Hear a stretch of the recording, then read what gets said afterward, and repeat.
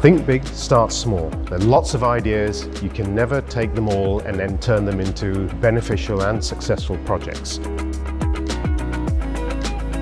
My name is Sal Faraju. I'm the Vice President of San Francisco hub for MIGSO P-Cubed. Innovation can be looked at from things like artificial intelligence, robotics, the Internet of Things. The innovation framework from a MIGSO P-Cubed perspective is all about taking clients' ideas and helping them turn those into executable projects. It relates very closely back to portfolio management. Consistent challenges that we see within our clients is how they shift from traditional ways of doing things to understanding how they have to innovate their business, not just their products, and getting their products or services out to market faster. How do they take these great ideas, some good, some not so good, and execute them into realizable, beneficial projects. So the MIGSO P-Cubed approach can be summarized as the art of acceleration. The design thinking and business model canvas approach helps you rationalize those ideas into real